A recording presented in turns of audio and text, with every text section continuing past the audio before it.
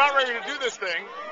We're about ready to do this thing. Uh, it's uh, another thing on the bucket list. Jumping in the uh, the polar bear plunge at the Murfreesboro Outdoor Pool at the Sportscom. It's 18 degrees, snow flurries, and I'm going to try to warm up the pool as much as I can, but I can only pee so much.